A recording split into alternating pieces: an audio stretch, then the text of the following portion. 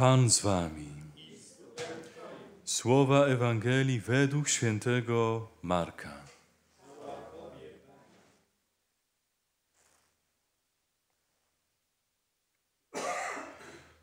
Pewnego razu, gdy Jezus przechodził w szabat pośród zbóż, uczniowie Jego zaczęli po drodze zrywać głosy. Na to faryzeusze mówili do Niego, patrz, czemu oni czynią w szabat to, czego nie wolno. On im odpowiedział, czy nigdy nie czytaliście, co uczynił Dawid, kiedy znalazł się w potrzebie i poczuł głód? On i jego towarzysze, jak szedł do domu Bożego za Abiatara, najwyższego kapłana, i jadł chleby pokładne, które tylko kapłanom jeść wolno, i dał również swoim towarzyszom. I dodał, to szabat został ustanowiony dla człowieka, a nie człowiek dla szabatu. Zatem Syn Człowieczy jest Panem także szabatu.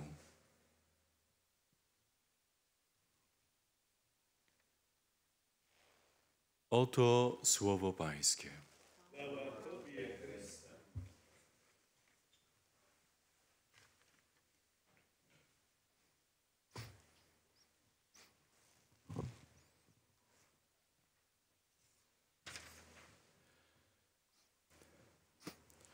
Duchu Święty, przez serca Maryi, prosimy, abyś otwierał nas na Twoje słowo, na dzisiejszy tekst liturgii słowa. Przyjdź, abyśmy kierowali się nauką Jezusa we wszystkim, aby nasze myśli, słowa i czyny były podobne do Jego myśli, słów i czynów. Namaszczaj nas, poruszaj, bo bardzo tego pragniemy. Nasze serca bez Ciebie są zatwardziałe i mroczne i zimne. Sala Maria leleleche soleche lo malashalai. Edonai meri felo felo. Adonai Adonai.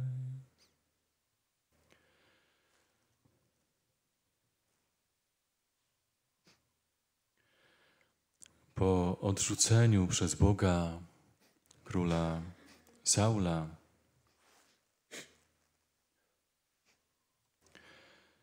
e, Samuel bardzo się nad tym smucił, ubolewał, że tak się stało. Przecież to Bóg go wybrał. Czyżby Bóg nie wiedział, że Saul jednak będzie niewierny, uniesie się pychą, będzie uparty, oporny. Mógł wybrać przecież kogoś, kto byłby mu zawsze wierny. A nawet e, można byłoby powiedzieć, że to znaczy Bóg uczynił to specjalnie, żeby też pokazać, że wybiera ludzi słabych, którym daje zawsze nadzieję na przebaczenie. Tak, Saul był słabym człowiekiem. Nie wybrał go Bóg dlatego, że był wyjątkowy, ale dlatego, że e, też przez pewien czas swojego życia naprawdę był pokorny, uniżony. A jednak pokazała się w nim wielka pycha i zuchwałość. A więc jak bardzo trzeba pilnować siebie, aby być pokornym aby uniżać się przed Panem, wyrzekać się e, ciągle tego, co będzie narzucaniem Bogu, siebie, swojej woli. Mam przyjąć to, co Bóg chce. Samuel więc e, cierpiał bardzo z tego powodu, bo kochał Saula też jako swojego duchowego syna, wiele rzeczy go nauczył. E, modlił się za niego, błogosławił mu. A więc Bóg e, poruszył serce Samuela, aby ten miał nadzieję, że będzie wybrany ktoś, kto będzie jednak takim, jakim Bóg pragnie, jakim pragnie, by był także Samuel. I tłumaczy też e, Pan, Bóg Samuelowi, przecież uznałem go za niegodnego, nie smuć się nad Saulem. Nie może już panować nad, nad Izraelem, ale wybrałem sobie kogoś spośród synów Jesego, który jest e, Betlejem, kogoś, kto będzie królem, nowym królem. A więc przygotuj e, oliwę w rogu i idź, posyłam cię tam. A więc e, było to polecenie, które było e, niezwykłe. Wybierano pośród narodów pogańskich króla nowego, kiedy ten pierwszy zginął, umarł. Nie wybierano na króla kogoś,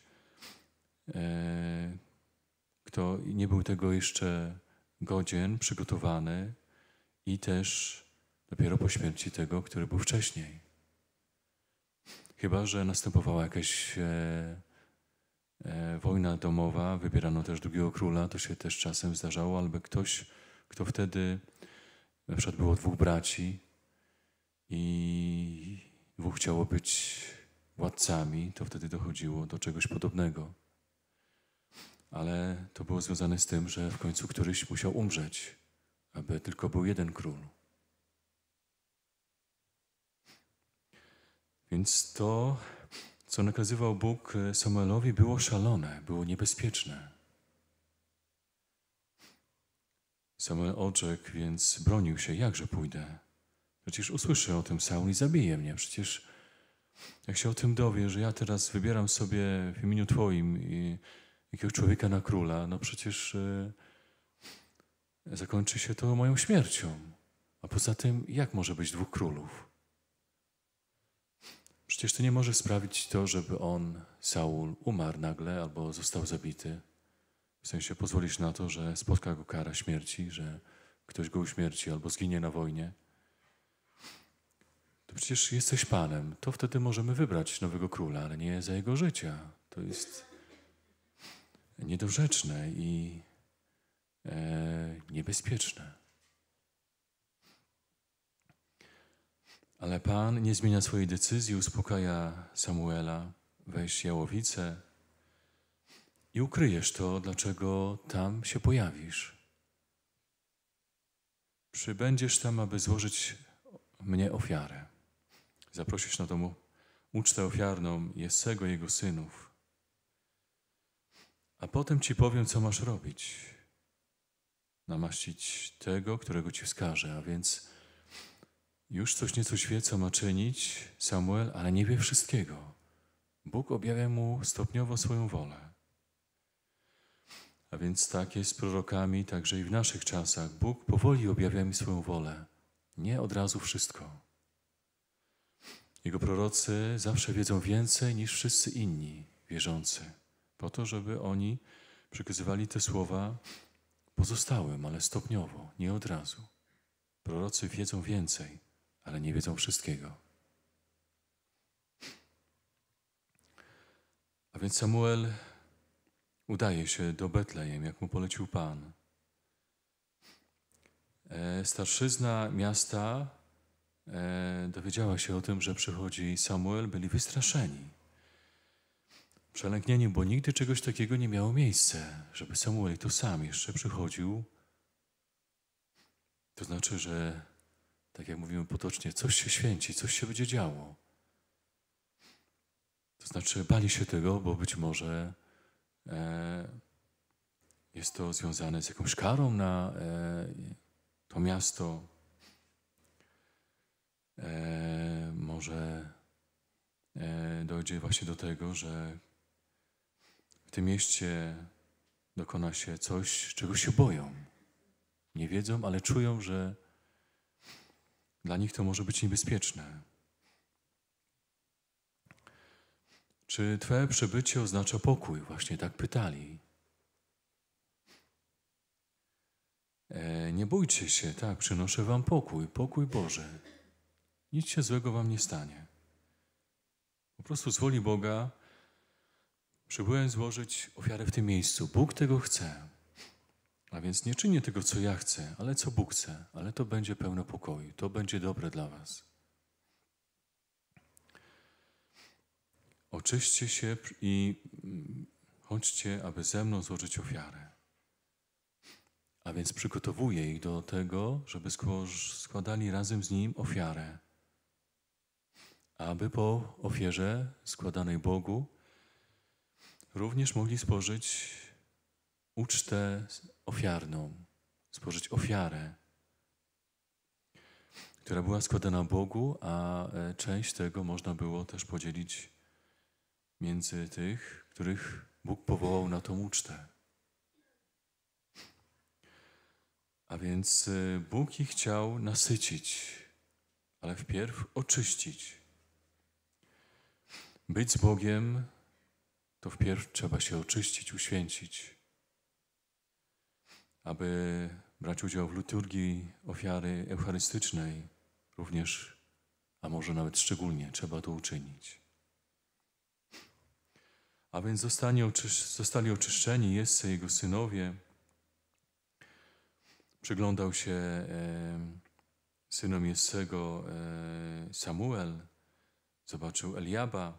Eliab był podobny do Saula, był też e, wysoki, e, dobrze zbudowany prawdziwy mężczyzna nadający się na króla.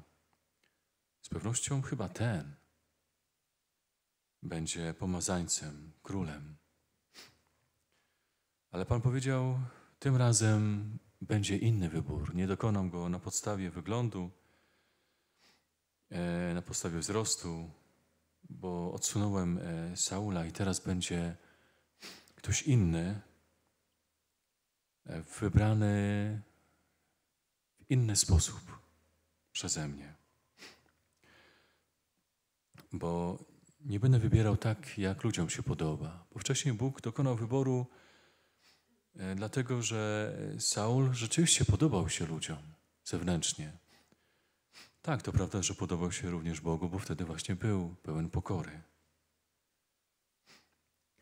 A teraz mówi Bóg, e, ja patrzę na, na serce, nie to, nie to, co widoczne jest na zewnątrz, e, będzie najważniejsze w wyborze tego, który będzie królem. Ja patrzę na jego serce i jego serce mi się podoba. Wybiorę go przez ląd na jego serce. Więc y, był potem przywoływany przed Samuela y, Abinadab, ale Samuel mówi nie, nie został wybrany. Szamma też nie. Kolejni, było ich siedmiu. Nie, nie wybrał ich Pan. Ale Samuel jeszcze zapytał, a nie masz czasami jeszcze jakiegoś syna?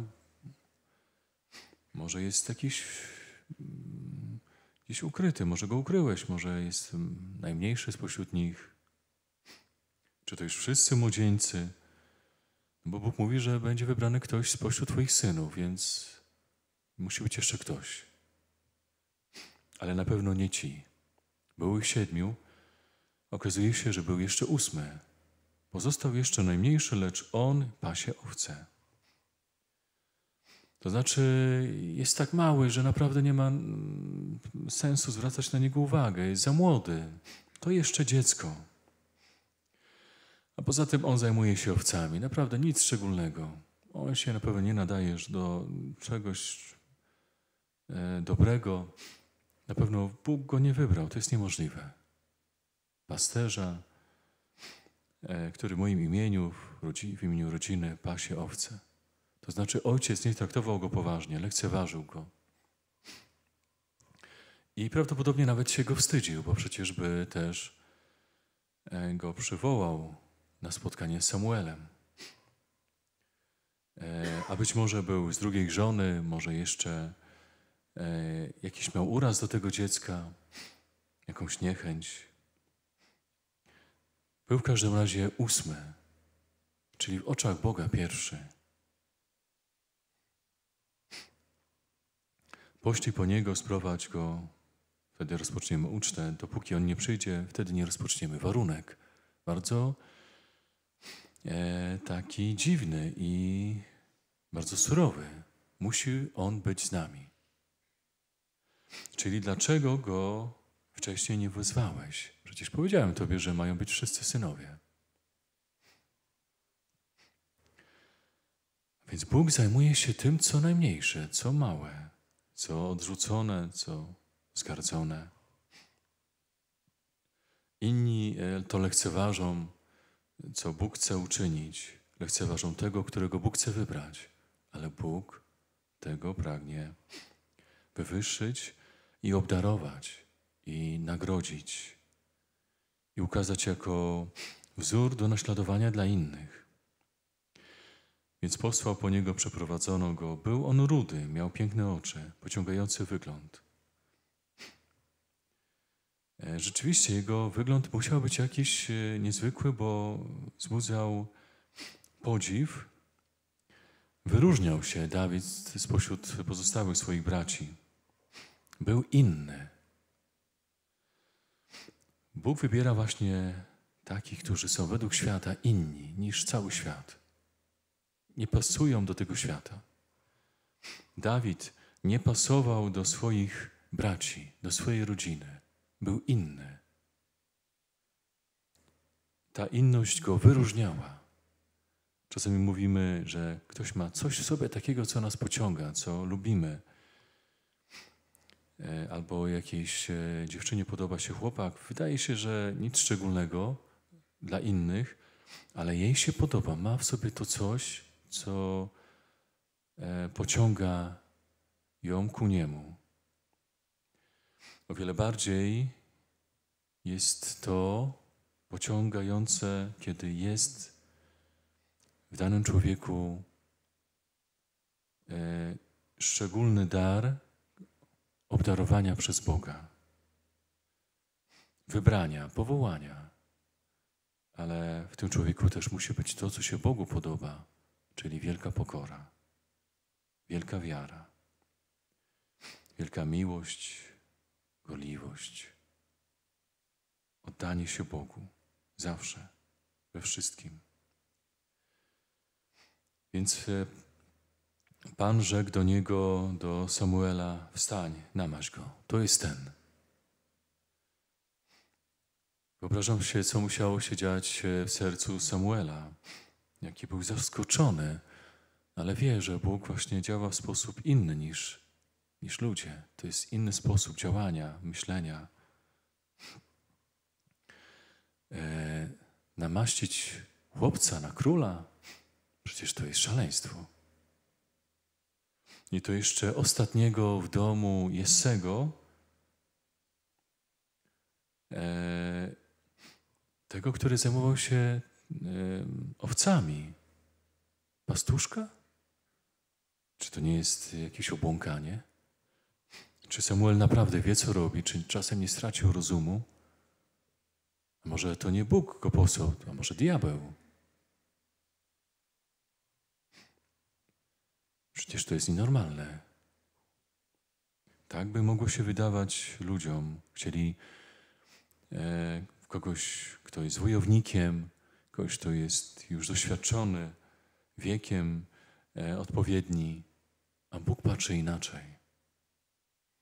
Dla Boga to już był ten czas, aby młody e, Dawid był królem. To nie była pomyłka. To był odpowiedni moment. Namaszczenie e, oliwą e, to było namaszczenie królewskie na króla. Olej namaszczenia na króla. Tym olejem nie namaszczano kogokolwiek namaszczano, tego, który miał być królem. Olej namaszczenia, związany z przyjściem Ducha Świętego. Dlatego jest napisane właśnie Duch Pański opanował Dawida. To było widać, że otrzymał namaszczenie na króla. Dary królewskie otrzymał, dary Ducha Świętego, aby mógł dzięki Duchowi Świętemu, dzięki e, tym darom, e, móc być potężnym, e, mądrym, odważnym królem, który będzie w stanie ten naród oporny, buntowniczy, niewierny prowadzić, kierować nim.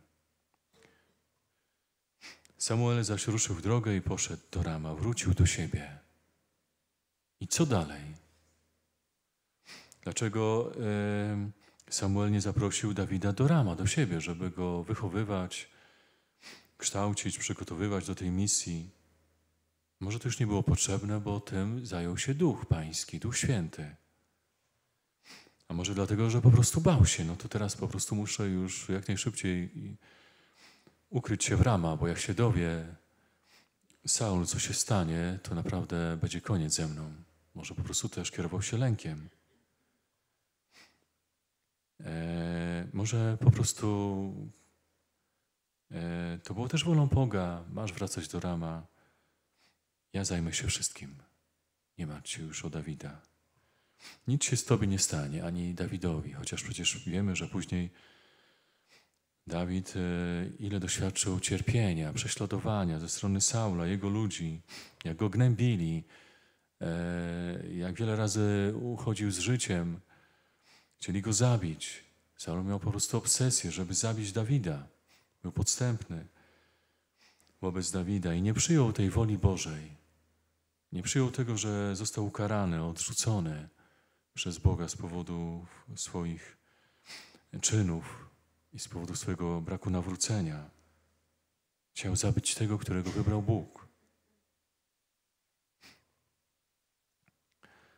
Ale wiemy, że nie udało się to Saulowi. Pan pragnie namaścić tych, których wybrał. A więc czy wybrał nas? Na pewno. A czy wybrał tak jak Dawida? W pewnym sensie tak, bo każdy człowiek, który staje się wierzący, tak jak głosi Kościół, należy do ludu królewskiego, kapłańskiego, prorockiego. A więc szczególnie w chwili sztu, każdy duchowo jest powołany, aby królować, prorokować, składać ofiary. Bo bycie dzieckiem Boga to przecież bycie dzieckiem króla. Bycie chrześcijaninem to składanie duchowych ofiar na wzór Chrystusa. Bycie chrześcijaninem to także bycie przecież prorokiem, czyli mówienie, prorokowanie o Bogu, o Jego sprawach, o tym, co Bóg uczynił, czyni i będzie czynił. Zapowiadać rzeczy przyszłe, o których mówi Pan. A więc w tym sensie Jesteś powołany. Bóg pragnie namaścić Cię na nowo. Olejem obfitego działania i obecności Ducha Świętego. Pozwól, żeby Duch Pański opanował Ciebie, tak jak opanował Dawida. Saula opanował zły duch, a Dawida duch pański. Nie miejmy nic wspólnego ze złymi duchami. Niech opanuje nas Duch Pana. Zły duch opętuje, a Duch Święty opanowuje. Jest różnica. Duch Święty, zły duch zniewala, a Duch Święty, Duch Pański pomaga wypełniać wolę Ojca. Duchu Święty, opanuj każdego z nas. Prowadź nas, uświęcaj, namaszczaj, tak jak przyszedłeś stąpiłeś na Dawida. Prowadź nas, aby każdy z nas kierował się tym, co chce serce Boga, serce Ojca. Ty spojrzałeś na nas, Duchu Święty, i masz w nas upodobanie. Spojrzałeś na nasze serca Bo Ty nie patrzysz, Boże, tak jak patrzą ludzie, ale patrzysz głębiej. Widzisz wszystko w nas i pokładasz w nas nadzieję, ufasz nam. Dajesz nam szansę przeżycia e, życia w inny sposób niż wszyscy ludzie. W Duchu Świętym, w Tobie. Chcemy tego. I chcemy ruszyć w drogę razem z Tobą, Duchu Święty.